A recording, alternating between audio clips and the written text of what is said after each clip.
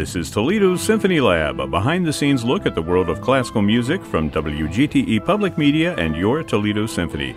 I'm Brad Cresswell. Joining me today are the Toledo Symphony's principal second violin and artistic administrator Merwin Siu, the TSO's marketing director Felicia Canny, and a little bit later on in the podcast, we'll be joined by music director Alain Trudel, who will call in by phone. And we have a very special guest today. Wait for it.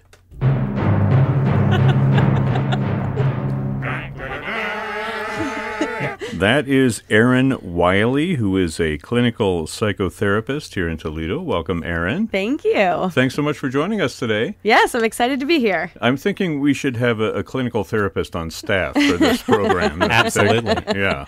Well, in case you're wondering, the uh, topic for today is stage fright, or its clinical term, performance anxiety. This is a great big issue.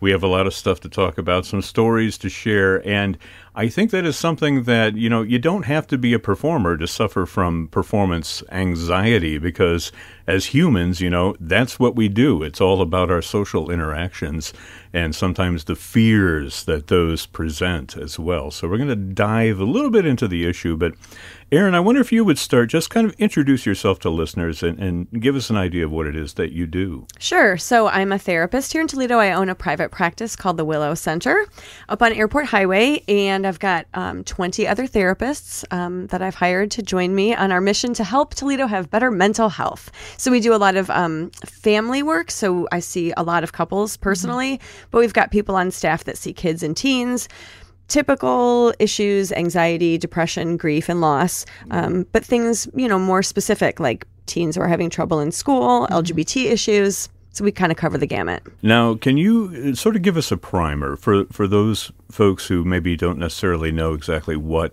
performance anxiety is mm-hmm.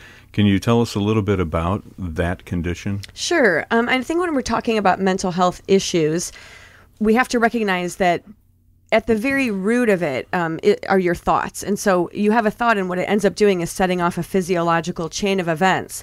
So most people experience anxiety um, initially as a thought, um, and it's typically fear of not performing well, of forgetting words or making mistakes, not doing what you intend to do in a perfect performance, um, and that kind of anxiety starts a whole chain of hand sweating, shortness of breath, pupils dilating. It's fight or flight. you start to freak out. Your stomach gets. This happening right I, now. I, I, yeah, judging by Felicia's expression, she's ready to dart for the door after this. You're putting all the thoughts. In, it's a self fulfilling prophecy. it can be. People yeah. do that. Yes, that it can we're, be. We're not going to even get through the podcast at this point. all of us thinking about it. Well, as far as stage fright goes, I mean that that is a I guess a compartmentalization of performance anxiety. Mm-hmm. People that perform on the stage in front of lots of people, right? We've all had that dream. Have you had that dream where you're unprepared or you show up to a, a performance and you and they switch it on you and you have no idea what you were supposed to be doing and yeah. It feels like a Far Side cartoon, right? Um, yeah. It happened like last week. oh no! nice. Now we should clarify. I used to be an opera singer, Felicia, you're an oboist. Uh, Merwin, you play the violin, obviously, still do. And Erin, do you have any musical background at all? My undergraduate degree is in vocal music performance and theater. So I lived in okay. New York and worked there performing and across the country. So yes, musical theater is my thing. Oh, how cool. Yeah. Erin has actually performed with the Toledo Symphony, which was why I thought she was the perfect choice. To yes. Absolutely. Yep. Okay, well, that makes me want to hone in on you, Erin, because you, are wearing 2 hats here. it's true. you're the psychotherapist, but you've also mm-hmm. been on mm-hmm. stage. Mm-hmm. And have you ever battled stage fright in always, your singing time? Always, yeah. yes. Oh my goodness, every time. Even as recently as I performed last year um, up at the Croswell Opera House when they did Ragtime, yeah. and I played Mother, which is the lead role, um, and it was terrifying. I, and I had not been on stage for a few years, and taken a break. Um, so yeah, I have like a whole arsenal of weapons that I use to be able to manage the anxiety because it can send you in a full-on panic. And as a singer, also if you um, you know play woodwinds, any of the um, yeah. you need some air, you need to breathe. and if you're breathing shallow and you can't catch your full breath, it makes you even more panicky. Mm-hmm. So there's. So a, what what do you do though in a Mm-hmm. situation like that? You're feeling the fight or flight before you go out. Mm-hmm. How do you channel that into your performance? So usually I try to do at least 15 minutes of something aerobic earlier in the day, if not more. But just get your body moving so you can get some of the nervousness out, like physically move. Um, I think we we mistakenly believe that when you're in a full panic, what you need to do is calm yourself down, which is true. But one of the best ways to do it is get like a rebound calm down by expending a whole bunch of energy real quick and then you get to a lower baseline where you can calm down after you've expelled some energy. Um, I personally, and this doesn't work for a lot of people, but um, I distract myself. And one of the ways I distract myself is I eat before performances. A lot of people are afraid to eat because their stomach is nervous, but I have a theory that if you eat, your brain, which normally shuts down digestion, is like, oh, well, now we have to digest food. And it's more energy that the brain. goes. Yes. Brilliant. And, and mostly just talking to myself in my head and, and reminding myself of why I'm doing it, or actually walking through the steps of where will I be, what do I say when I stand in certain places, and just calmly reviewing ahead of time. I, I am totally on board with any therapy that ascribes uh, a lot of eating. I've, I've always That's your professional opinion, I take Yes. it. And honestly, for me, it's like the, the more junky the food, the better. Yes. It's something that wouldn't work, I think, as well for wood- woodwind players. But I've always liked to eat extraordinarily spicy food right before I go on the stage if I'm feeling nervous because I kind of I kind of feel like that. I mean, there's this sort of I know physiological response that when you're eating spicy food, your body reacts as if you're on fire, so it kind of soothes you with these. Like, yeah, that's true. and so I always use that to kind of calm down a little bit. That's So very I- clever. Yeah, So- I, so I always wanna go- found that uh, a couple glasses of wine were what uh, put me in the mood. You know, there's That a, does not work as well for a violinist. I'm like taking notes right now. I'm writing everything Yeah, down. write it down. this is a you know therapeutic podcast. We're here to offer great advice. N- none of it you know legally binding. I should add. Oh, yes. We need the disclaimer. yeah, you know, uh, well, you all know the great opera singer Enrico Caruso, right? Um, early part of the 20th century, one of the great singers of all time. There, there's a great story about him where I don't know where it was, whether it was Metropolitan Opera or a different opera house. But he was alone in his dressing room before the performance, and outside people could hear him yelling, and they were thinking, "Who is he yelling at?" And he was in there. People put their ear to the door, and he was yelling "Va via, va via, va via," which means "Get out, get out, get out" in Italian.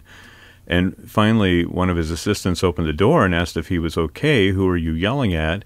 And he says, I'm yelling at the voices in my head that tell me I can't do it. Mm. Oh. Right? Mm-hmm. And that was how he was preparing for a performance by, by you know, entering a, a verbal mental fist fight with, mm-hmm. with all those doubts that were mm-hmm. going on in his head. Would you would you say that was a, a, a good choice, Erin? Yeah, I mean, usually um, when I'm talking to athletes or performers about how to stay focused, you know, typically we want to keep it positive and say focus on like a good intention, like I've got this, or I'm calm and cool, and maybe not focus on the distress, but away. I mean, it sounds similar. Sometimes I um, suggest that people have an object, like uh, for public speakers, maybe a pen on the podium, um, or for performers, like a spot on the wall. And and I do say like throw that energy. Like imagine it's like a backpack full of like distress, and you're like taking it off and flinging it at something, or putting it into an object to get it off of you. Throw your distress at somebody else. Yeah, maybe something else. But see if see if they catch it. I, I want to get into a couple of stories here, Felicia. Before we got on on uh, Mike, you mentioned uh, your experience as a page turner, and that that is something that immediately very stressful. Oh elicited uh, a, a response from both Merwin and myself.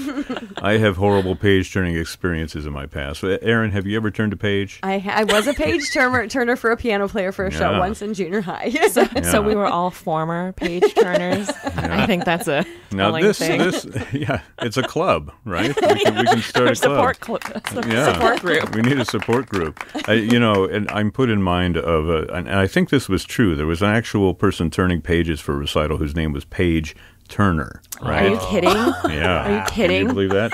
I'm just kidding. But Okay, uh, good. I have some music for you, Felicia, to tell your story. You're going to tell us. Uh, okay, let me pull that down a little bit. You know, I, I'm glad that Erin talked a little bit about the a- aerobic type exercises before um, doing something stressful or high anxiety. And um, so prior to this story, wow, this is really, scary. this is really spooky. Yeah. So prior to uh, going uh, in this recital to turn pages for this performer, I had to carry the harpsichord um, with two other gentlemen, and I am not a strong person, so it really took a lot out of me. and then uh, going into uh, the, I had never turned pages before. I was a freshman in undergrad, and um, so I was I'm honored, but also very very frightened. Yeah. And then in the middle of the performance, um, the the oboist instead of playing all of the 16th notes in the run, I think it was like 64 measures of 16th notes that were constantly going. All of a sudden, halfway through, uh, he started playing every other beat. So it was like beat one and beat three, and then I just sat there frozen, and I didn't know where anyone was at all. And then I thought, should I stand up right now and just like get the page ready to turn? I don't know. yeah. I have no idea. So then I like slowly lifted myself up from the seat and like leaned my arm carefully over the page. And then I folded the corner because I thought that was a good thing to do. and then I I turned I didn't know where I was and I was like maybe maybe the the harpsichordist will give me a head nod. I didn't see any head nodding oh, whatsoever. no. I so I I don't know really what happened. I think it was a blur, but I turned the page and and we're, we're all alive. So Everyone lived. yeah, Oh my gosh. it was Yeah. really scary. I, I thought I was It's, you screwed up the whole recital. Basically, an experience like that, it's like landing a plane. Any landing you can walk away from i- i- is a good landing, right? Yes. Yeah. You know, when I was a page turner one time, the one time that sticks out in memory, and I don't even remember where this was or who it was for. I do remember, however, that I was so anxious to turn the page that I ripped the paper out of the book. right? Oh, That's when, strong. when I turned the page. and and I not only ripped it, I sent it flying. Oh my. and dramatic. So, I love it. So the uh, poor pianist actually You were a stopped. tenor at the time. Uh, right? yeah, something, something like that. time. Yeah, but uh, I, I had to go and, and, and, and collect, you know, the page to a few Oh, chuckles my. from the audience and Oh, set it back up and and have them. That happened to me Yeah, in eighth grade. it's horrible. yeah. I was not in eighth grade when, when this happened. I should have known better. Um, Merwin, you want to tell us a page turner story, or do you have something else? Hang on. There we go. Well, I'm I'm torn actually. Sorry. Oh my gosh, Merwin. Wow. I Good one. I actually did uh, turn pages for a former guest of the podcast, Bill Eddins, when he was here, and it was when we were doing an Artists Up Close series. So we were on the Peristyle stage, but the mu- where the orchestra musicians were seated was where the audience was sit- sitting for this chamber music series. Oh. So we'll be on the were- Sunday after the Masterworks concerts, and we would just turn the piano around and play towards the back of the peristyle. And so, um, Bill was playing with four members of the orchestra, the Shostakovich Piano Quintet, and I was standing and I was turning the pages, and you just had to. It, the second movement goes so quickly, you had to just jump up and down and up and down. And then, partway through, I became convinced I was going to fall off the peristyle stage Oh no. Yeah, and so I, had this sort of scary. weird like sense that like That was Mozart laughing, by the way. and I just and I was I was very all of a sudden I was I would like stand up, turn the page, and sit down very slowly, and then stand up, turn the page. It was very weird, but that that reminded me we were just playing the Beethoven Third Piano Concerto, and Beethoven very famously had not actually finished the piano part, so he had like so the, the page turner was was turning pages and there was just like scrawls of random things that reminded beethoven of something and then beethoven would nod at him at random intervals and he would just turn a page so that, Wow. that was what i was thinking of I, I think if I was turning pages for Beethoven, I would be nervous, right? that would definitely be a nerve wracking experience. That's great.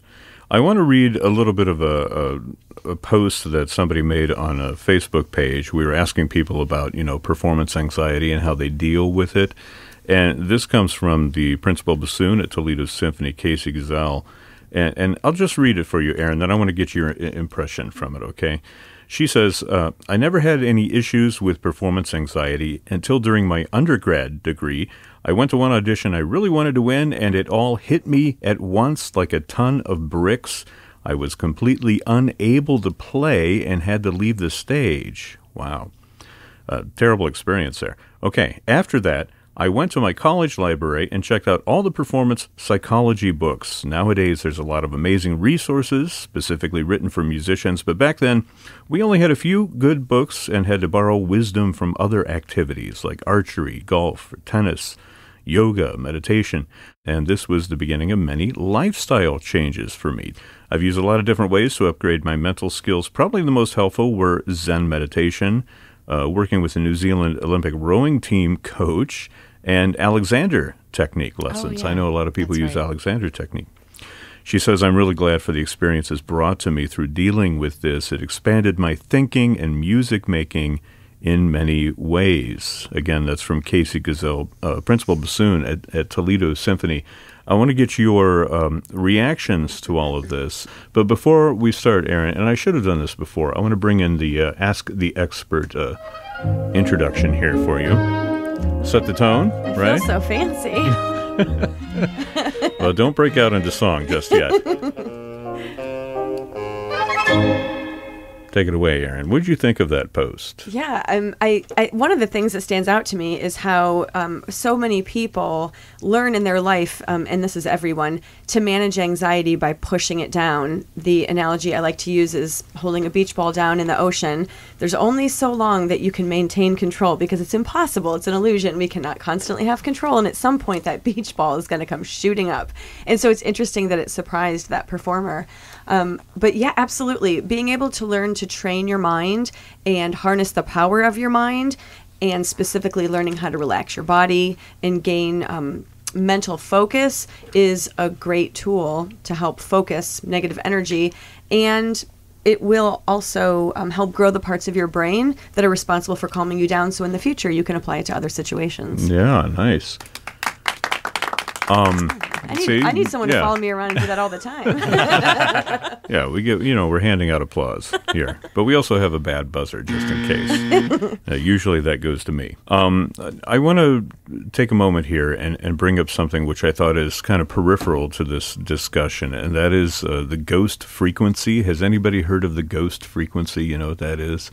This is infrasound. People say that you know, if you hear or listen to infrasound, which supposedly is out of the uh, range of human hearing, um, it, it induces anxiety, right? I thought it would be a fun experiment. I've uh, actually got it here. I'm going to uh, turn it on. This is part of a radio show. Yeah, We're going to listen to a sound that cannot possibly be heard over the radio. that's what we do. it's that high of a frequency. Yeah, low of a frequency. Oh, low, Actually, okay. This is at 18.98 hertz. Uh, supposedly, gosh. anything below 20 hertz is hard to hear, but you can kind of hear if you listen carefully for a second. You can hear a little bit of a rumble. Yeah, I'm feeling it. yeah, that's the ghost frequency. So they call it that because you know people claim that it makes you see hallucinations and spirits and things like that. So, Erin, I'm looking around. yeah, exactly. Don't see anything. Not yet. Felicia is looking rather skeptical right there. But I thought it would be fun if, you know, in addition to the anxiety that this podcast normally uh, creates, if, if we added to it by, by adding in the little ghost frequency for a while and, and see if people start to feel, you know, anxious towards the end. And then you can help them, Erin, right? I We're- do feel Walk them through it. We're and I doing can a see little in your therapy. screen the Yeah. the the Yes. column. Of, Well, yeah, it looks scary there. Wow. on the screen. Yeah. I'm not quite sure why that is, but um, yeah, there it is. Okay. well, we'll leave that run for just a little bit. We're still waiting for our music director, Alain Trudel, to call in. Anxiously, we're anxiously Yeah. Oh. We're I- anxiously feeling awaiting. well, there he is, saved by the bell. Let's see if I can do this without cutting him off. Hi, how are you? Uh, well, I'm nervous. I can tell you why you're nervous. It, it's because we're, we're talking about stage fright, but we also just started playing something called the ghost frequency, which is a an 18.98 hertz signal, supposedly below the level of human hearing. And so we thought we would do this experiment and let it play and see if it makes people anxious or not. From what I understand, this is like what a bass trombone tuning is like. exactly. you have to have loose, loose lips for that sort of thing, right? There we go. Case in point. Our music director, Alain Trudel, has joined us by phone. Uh, Alain, in addition to Merwin and Felicia, we also have Erin Wiley here, who is a clinical psychotherapist. We brought her on board just to talk to you. I hope that's okay. It's an intervention. that's right. We're having an intervention. You know what? This ghost frequency Hello, thing my is name is Alain. This ghost frequency thing is, is starting to make me really nervous, so I'm going to turn it off here. There we go. That's much better now. Sigh of relief, right? So people told their performance anxiety stories, and I'm sure you, Alain, as a trombonist and a conductor, have had your fair share. Um, do you think I could ask you to? Do you think that you could share a specific story with us, a, a case of stage fright that you may have suffered, or, or are you just immune to this sort of thing? Sure. Well, Well, hang on a uh, second. I have music for you. Okay. Everybody else has suffered through this music. I music, was just so going to say that, Brad. now it's your turn. Let, us hear from you, Well- Alain. Uh, well, actually, um, um, as um, maybe it's because I've had uh, a lot of experience as a player. Uh, as a conductor, I, I don't really get nervous, and there's so much to do. There's, so much you have to be focused on nonstop as a conductor that you don't really have time to be nervous. But as a player, um, I- was also very focused. I, it's- stage fright was not a big thing for me, but I do remember one instance where I really had no idea what was happening, and I got really nervous. Yeah. So I, I can tell you about that. I was playing a recital uh, in Germany somewhere, and um, and um, and and I started playing. Uh, my first piece was on the sackbut, which is the the, the ancestor of the trombone. the sack And, butt. uh, we want to make sure everybody heard that. The sackbut, right? Yeah, the sackbut. Yeah, and I started playing. Everything was, you know, I was ready. I got warmed up, and uh, I, I was, you know, do, doing what I do. And then it seemed like nothing was working. Now, and I was thinking, I was going like, but I don't think I'm nervous. Like, you know, like you're speaking to yourself while while you're doing the the performance. I was going like, Yeah. I, I I think I'm fine, but but it's not working. What's You happening? you can talk yourself into being nervous. Yeah. Well, yeah, but I was doing what's anyway. So I finished the piece, but I barely finished. I, I and then I, I thought, why? Of course, then then you get nervous for real, you know. And then I, I was going, what happened? And I noticed after I put it away, that before taking my trombone backstage for the next piece, because then I switched to to the normal trombone that, that people know, and and I noticed that my tube of my um, my lower slide was out. So I actually played the piece with about half an inch of space between the tubing and the rest of the instrument. That's why things were not coming out. Wow. You made it through the whole thing? Wow. Yeah. Well, it, it was no, it was a short piece. It was like a five minute piece, Oh, but it was five minutes of Sure. like. I never worked so hard to get the air across the instrument. Of course, there was a hole in it, you know. So, but I, I, I, but you know, I, I never thought it might be like a, um, how do you say, a mechanical malfunction on the instrument. I, I started thinking maybe it's me, but I think I'm okay, but I'm not okay. I don't. So you start playing games with yourself, and I went like, I picked up the instrument, played a few notes, and I went, oh, okay, something else happened. So anyway, Oh, that's. I uh, always think it's a malfunction. the instrument. All right. Well, But, I don't want um, you yeah. piloting any of planes that I'm on. Anyway, that, that that that was a very interesting experience because it shows that uh, sometimes you know your mind can play trick on you. Do you still have that sackbut? Oh yes, uh, that Yeah. no, that one actually no, that one I sold. It's at a pawn well, shop first- somewhere. First, first, first I got it fixed, and then I and then I sold it, uh, and Well, then I got nice. another one that, and and the other one didn't really falter, so that that's good. Yeah. you got to bring that sackbut in one of these days. We'll have a little, Oh, little party. yeah. Yeah, a little demonstration. yeah. Well, I do have a, a a quiz, and I'm glad you're here, Alain, Okay. because this will be a fun quiz. This, this is uh, actually called Seven Bad Habits of Highly Effective Composers. Okay. Oh, So we have uh, seven different case studies here. I've given them all to Erin, and she's going to read off um, different clues. I have three clues for each case study, and you have to identify who the composer is.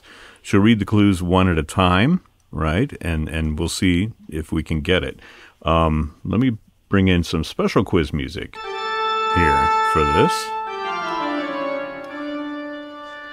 This helps. Yeah, just to induce a little anxiety, right? Okay. There, get a little Did not beat. expect that. Got it. Yeah. Am I Yeah. am I rapping? Yeah, Oh, yes. go for it. Case study one. Okay. This is a Let's social experiment. All right, so the first case study. This composer often left uneaten trays of food around his apartment and it smelled badly. Cut a hole in his wall so he could have a view of his favorite cathedral. And once raged over a lost penny and wrote a piece about it. Sounds like Wagner. Is it Wagner? No, it's not oh. Wagner. Elaine, you know, who wrote the Rage Over uh, a Lost Penny? It's a great piano piece, and, and and this is somebody who is infamously irascible and eventually went deaf. Oh, Beethoven. yeah, Beethoven. Beethoven, Beethoven. Good job. Man, that sheep. yeah. That's St. Bernard's. Yeah. He's very upset. Actually got five clues for that one, but that's okay. Let's hear number two. All right, number two. Founded a drinking club and often had to be dragged away from it to conduct his music. That's not Alain. stopped composing 20 years before his death and wrote his country's unofficial national anthem. Who would that be? Yeah, I know, I know that one. Go for it. Go for it, Uh, Alain. it's uh, it's Sibelius. Sibelius. That's right. Yay! Okay, one for Merwin, one for Alain. You know, I thought it was Mozart at first, but then when you said 20 years before his death, I was like, oh, never mind. Exactly. He was 15 when he stopped. okay, Erin. All right, number three. Once drew his sword on a student, also spent time in jail for insubordination. Was at the center of a famous musical dynasty. Despite his ill temper, wrote well tempered music. Who would that be? I never really Bach wrote. Uh, CPE. But I, I extended you the courtesy of assuming you meant Johann Sebastian Yes. Bach. Yeah. He was Johann so Sebastian Bach. So many people, like so many people of that era, drew swords on people. Yeah. It was just a thing to Imagine. do. Like, It's a Didn't little narrow it down at all. Emotional dysregulation. You should do that at the office. No, I'm kidding. Not often. I'm writing down. I'm writing that down. Emotional dysregulation, because that is that describes like pretty much my behavior in a nutshell, right there. Dysregulation. Okay, where are we at now? All right, number, four. owned 12 identical gray velvet suits and wore one at a time until they wore out. He left six unworn at the time of his death. this was the strangest one. Ate only white food like eggs, sugar, shredded bones, and the fat of dead animals. And gave his works eccentric titles like Flabby Preludes for a Dog. That should give it away. Is Yeah, it it's Satie? uh, Satie. Erik Satie. Oh, wow. That's really, I did not know that. How did you? Fascinating. Yeah. Yeah. There's like a new Satie biography, and that should be titled "Flabby Preludes for a Dog." Is what the title of the bi- That biography will should really be titled. sell. Yeah. All right, number five was obsessed with dead bodies and often hung out at funerals and morgues. May have tried to steal both Schubert and Beethoven's skulls. Suffered from numeromania and counted things compulsively, including the number of measures in his music, and was also obsessed with Wagner and even dedicated a symphony to him.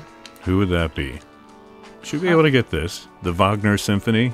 Well, I guess it's I guess it's Bruckner, right? Yeah. But that didn't. I would have guessed somebody entirely different. Like who? Why are you looking at Barely- me? Oh, I mean, I, I mean, just hanging out in morgues. I thought Berlioz would have done that. Yeah. Yeah. But, well, evidently, Cresswell. Bruckner was uh, present at when they exhumed Beethoven and Schubert to move them, and and he went into both of their coffins and cradled their skulls. And somebody claimed that he may have tugged a little bit on, on Schubert's Oh. skull. with the- that, that you know Oh my. may have tried to steal this is disturbing. Okay, Yeah. this I wanted. Okay, th- there's got to be a clinical term for that, right? um, We'll get back I to think you. we just call that sick.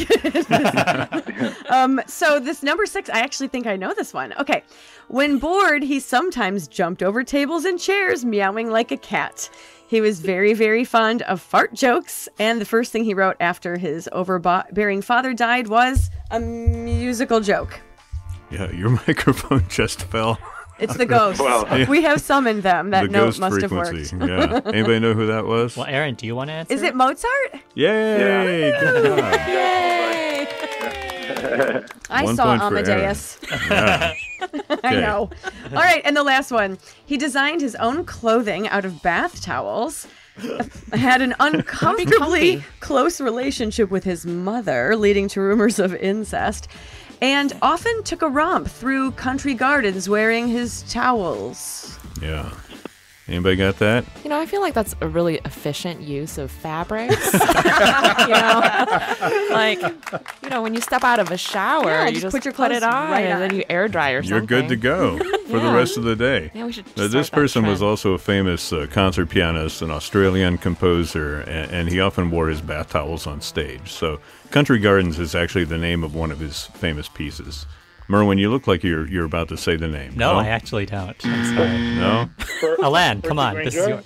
Yeah, Alain oh, got Percy it. Percy Grainger. Oh, Percy Grainger. he's an interesting one. Yeah. Mm-hmm. Yeah. But it's hard to tell who won on this because Elena Merwin was sort of neck and neck there for a while. But I'm going to give it to, to Erin because she got one right. Thank you. Thank you very much. so Erin is the winner of our quiz. Excellent. So I, I don't know that we've you know come to any conclusion about what to do for stage fright or stage anxiety.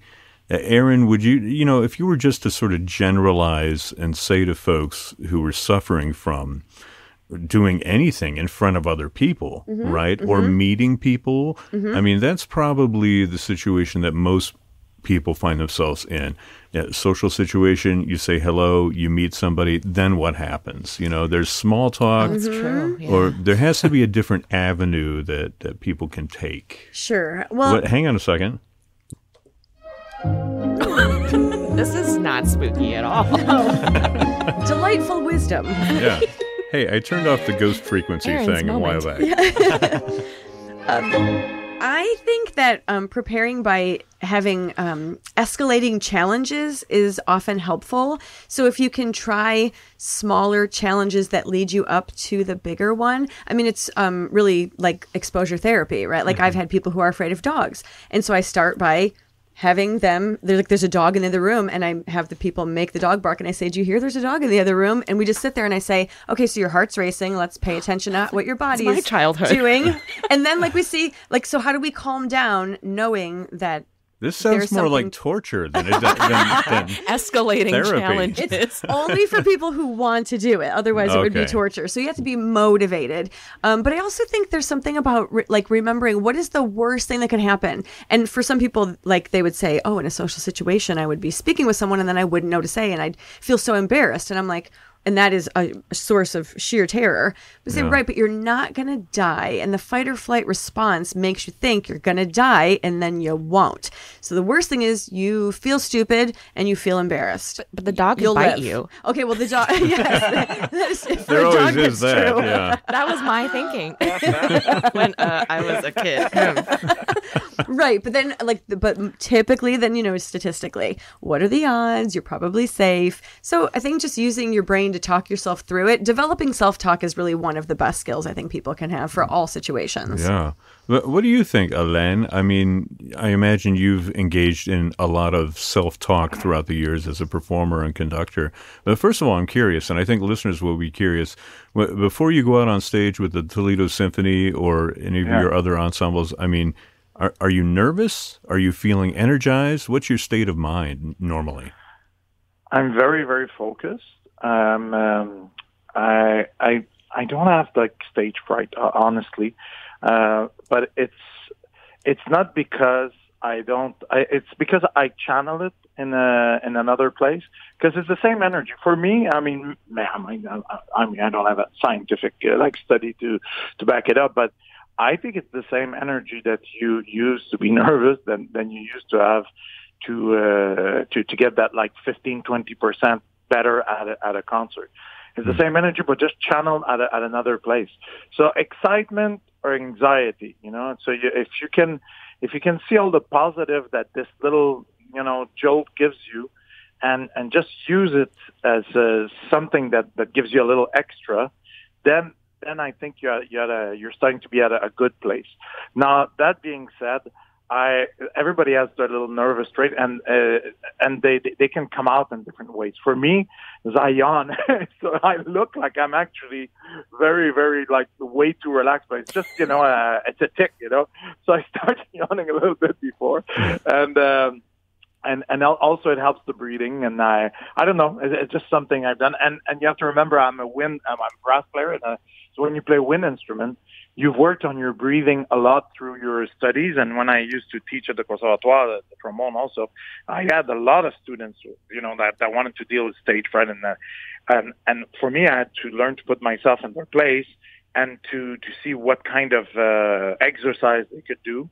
Uh, don't want to over uh, analyze it because you know you don't want to get a uh, how do you say paralysis by over analysis. You know that's, that's Like uh, we're doing in the podcast, right? no, no, no, no, but no, no, but we're we're talking now. We're not performing. That's fine. Yeah. But Oh, if wow. you're if you if you're leading up to a performance, you don't want to start uh, analyzing everything. You need to have actually a plan of something you're going to do. So it could be as easy as three really deep breaths, but keeping your shoulders down consciously and focusing on your. I- I- If I want to put it like uh, very uh, simply, like your your your tummy, you know, just breathing lower. So that, that I have two words that I used to say to my uh, my students. I say slow and low. You know, breathe slow and breathe low and relax. You don't have to breathe like 20 times because you're going to hyperventilate. But just three nice, no, but three nice little breaths. It's like a, it's like a, a little ritual. You know, three Yeah. nice little breaths. I say, okay, let's do this, and you walk on stage, and then you're really solid. Erin, that's- can I ask your reaction to that? Um, H- hang yeah, on, hang on. yeah. Okay. no, just kidding. Yeah, Go no, I think You're like a that's, that's great advice. Um, and I love that you said slow and low breathing because I do think people talk about. Um, you'll hear people say colloquially like, take deep breaths, Oh, yeah. but then you end up hyperventilating because you're t- breathing in a not normal way. Like it's slow and low, and even you know, I, I mean, if I had to pick one way or the other, I'd say shallow, like you're sleeping is what I tell people. Imagine mm. what it's like when you're sleeping. You're taking very small breaths. I also think it's interesting though that you mentioned yawning because yawning is a signal that you don't have enough oxygen, and when you feel panicky, people almost always yawn because their hmm. body is trying really hard to oh. catch up with the fear and get more oxygen. So I know a lot of performers, I do it too, who yawn before I'm- they perform. Yeah, I'm feeling a yawn coming on right now. Actually, that's not a commentary. That's just uh, you know power of suggestion, right? Mm-hmm. I feel it. Well, we're just about out of time. Is there anything else that anybody wants to add? Sort of put the uh, the final word on the subject before we go. Well, I, I guess I do think that everyone can overcome this sort of performance anxiety, and it, you know, it might not, you might not overcome it in the span of a year, or it could be, it could be many, many, many years before uh, you get over the fear of doing whatever. And um, I just have to think back quickly to when I was in grade school, and I, this is Hang a on, nightmare. Oh, oh no. oh no. We have another story. I'm so excited. Oh, it's it's brief. I'll Um, try not to yawn. Go ahead. Brad. um, but um, for many, this is, I think, a dream, uh, a nightmare for others. But it really happened to me where you stand in front of a class of uh, students and you have to give your presentation. And, you know, back in the day, we all had note cards so that we could keep our place and practice talking in front of people. And then your hands get clammy because you get so nervous. You think everyone's judging you, and they are. and then and then for me, I dropped all the cards all over the place, all 20, 30, 40, I don't know how many cards there were. Wow. but then they were all out of order and then what do you do in that moment? You know, you you have to pick them up and awkwardly find your place and as a grade school student, you know, you're not practiced enough at that You don't have to do that. You could just say, "Okay, I'm out of here." oh, you know, you should have talked to uh, my younger self. Um, but really, over the years, I've, I guess, overcome that to a degree where y- you just, yes, you get escalating challenges throughout your life, and then you have to find ways to cope and and visualize what it wants to, what you want that to look like in the future, Yeah. and then get there. And I think that people can overcome it, and the strategies that you've shared are great. I've taken lots of notes and um, it's it's it's something that I think we all go through. Yeah.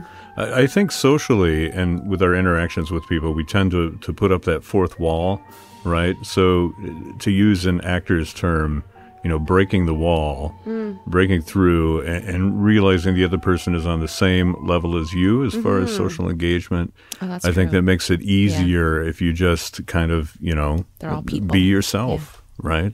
For sure. I, I always think when I go out on the stage, well, they want me to succeed. They don't want me to, you know, Absolutely. explode. Everyone's cheering for you. They're rooting mm. for you when you're on stage. I just was um, in Cleveland this past week, and my son and I saw some theater.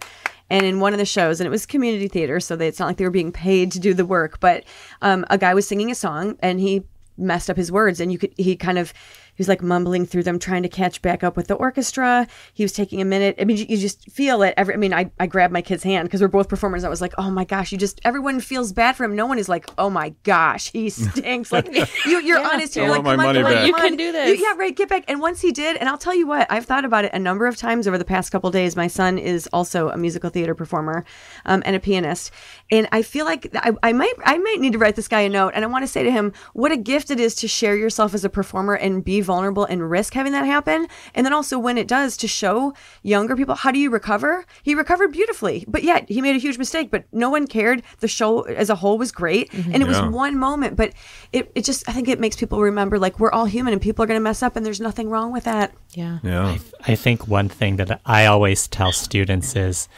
there was this time in I think the 1988 Olympics, and Hang on. I'm sorry. I No, it's can't okay. laugh. this was Go the ahead. 1988 Winter Olympics, and it was a figure skating competition. And figure a, a Japanese figure skater, you know, the weight of the country on her shoulders, she did a jump, and then this was back before they had all these fiber optic cables for all the cameras. She fell out of the arena into a hole that had been carved out for the cameras in the corner. And so I always remind students, you're nothing is going to be worse than that. And, then she and it was the bravest thing I'd ever seen. She climbed out of the camera pit, finished skating the rest of her routine, and it was really just an amazing thing. Wow. So Fantastic. yeah, guts, so yeah. I kind of feel like if Courage. Nothing will happen that will be worse than that. So mm. and if she could keep going, you can too. yeah. I'm kind of like Alain where I never really struggled with mm. performance anxiety or stage fright. My mantra was always that I'm not afraid of the, stra- the stage. The stage is afraid of me. Right. And I was sort of Oh, making a joke. you about- are the danger. exactly. Exactly. So that was my way of uh, of dealing with Oh, it. That and a few glasses of wine. and a little bit of yawning. A little yawning here and there. Yeah. So you're not bored. No. You're just breathing. No. Well, that's all the time that we have for today. This program is a production of WGTE Public Media in collaboration with our sponsor, the Toledo Symphony, with generous support from the Rita Barber Kern Foundation. You can download episodes of our program as a podcast by going to our website at wgte.org/lab. You can also subscribe to us through your podcast app of choice, including Apple and Google Podcasts. Don't forget to check out all the upcoming events at the Symphony by visiting their website, that is ToledoSymphony.com. Also, their various social media outlets on Facebook, Instagram, and Twitter. My thanks to Alain Trudel, Merwin Siu, Felicia Canny, and our special guest, Erin Wiley. I'm Brad Cresswell. You've been listening to Toledo Symphony Lab from FM 91.